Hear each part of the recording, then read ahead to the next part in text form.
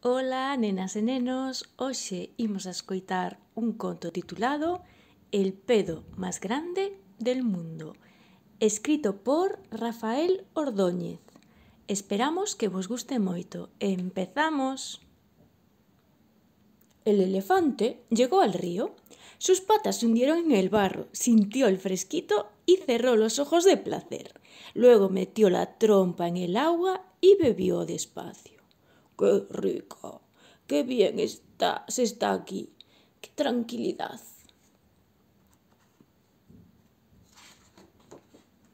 Entonces escuchó un sonido desagradable. El elefante miró al río y vio cómo una gran burbuja se deshacía y dejaba escapar un pedo. El pedo enorme de un enorme hipopótamo que en ese instante sacaba la cabeza del agua. ¡Blop! El elefante pensó que el hipopótamo era un cochino, aunque le había hecho gracia el pedo submarino. Además, él llevaba unos minutos sintiendo un dolorcillo en su enorme barrigota y, mirando al hipopótamo, soltó un pedo gigante que sonó como un trueno pequeño.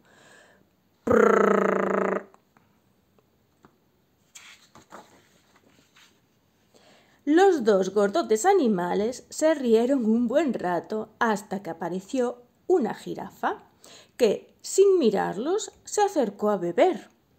Cuando bajó la cabeza y estiró el cuello, levantó el trasero y, claro, se le escapó un pedo.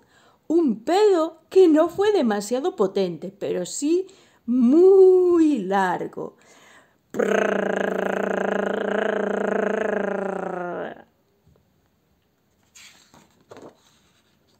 En ese mismo instante, un mono algo locuelo se colgó boca abajo de la rama de un árbol y entre risas exclamó ¡Qué variedad de pedos! Son ustedes unos maestros en la música de viento. La jirafa se puso colorada. Se me ha ocurrido una idea al escucharlo, siguió el mono. Podríamos celebrar un concurso de pedos. Los tres animales se miraron y entonces escuchó la voz ronca del cocodrilo.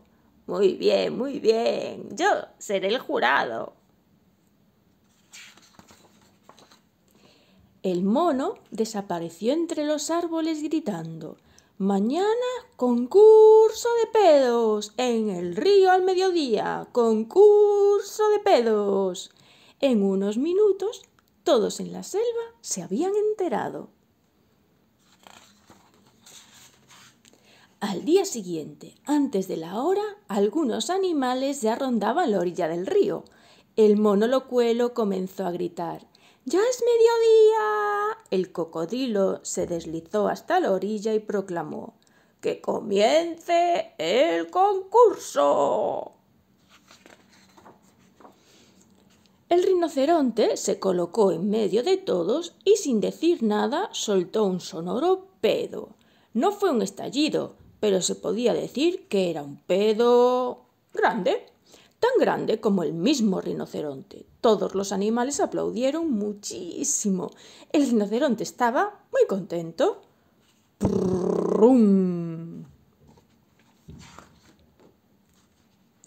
El hipopótamo, dentro del río, cerró un poco los ojillos, movió sus orejas y soltó una bomba submarina, una gorda burbuja que estalló detrás de él.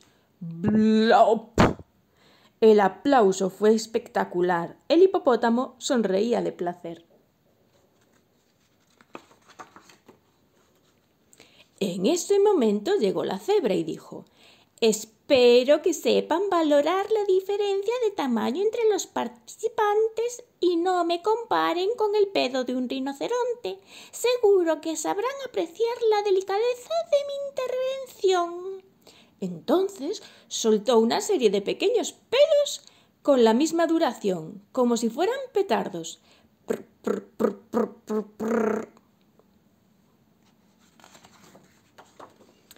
Tras los grandes aplausos a la cebra, le tocaba a la gacela, que estaba algo nerviosa.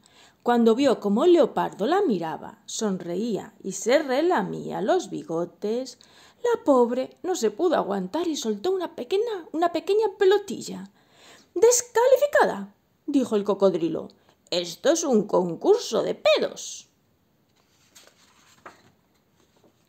El gorila, golpeándose el pecho, consiguió un gran silencio. Se giró lentamente mirando a todos los animales y entonces soltó un pequeño pedo. Casi ni se oyó. Nadie aplaudió. Un pequeño erizo dijo, pedo, pedito, no es del gorila, es de monito. Todos estallaron en carcajadas. En carcajadas, el gorila, avergonzado, se apartó rápidamente. En ese momento llegó el león empujando a la leona. Que no, protestaba ella. Aunque seas el rey de la selva, no puedes pedirme eso. Tú eres el de los grandes pedos. Si te da vergüenza, te aguantas. Y si quieres ganar ese ridículo concurso, el pedo te lo tiras tú.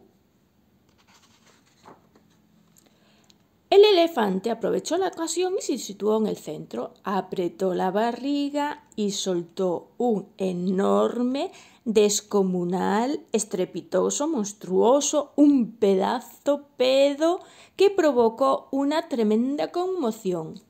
Cuando terminaron los aplausos, el cocodrilo cerró los ojos, un poco después los abrió, y dijo, después de una intensa y complicada reflexión, el jurado ha decidido que...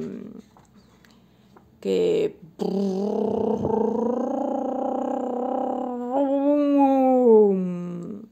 No pudo terminar. En ese momento se escuchó un sonido tremendo, el eco de un cañonazo, el cielo rompiéndose, la tierra gritando, los ríos llorando. Se escuchó el pedo más grande poderoso y tremebundo que nunca antes se había podido oír en todo el mundo.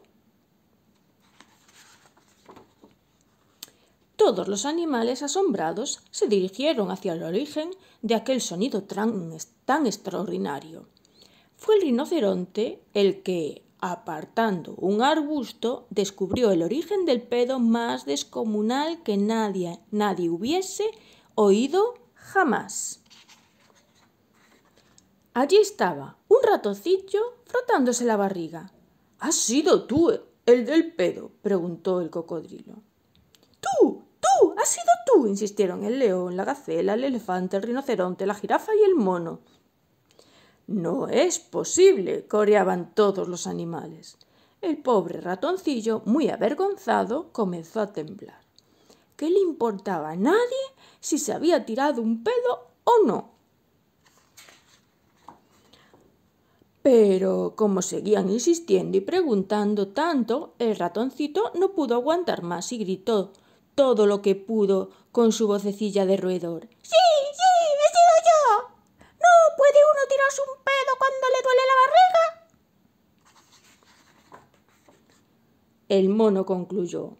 Pedo de ratón, pedo campeón. Y todos se echaron a reír.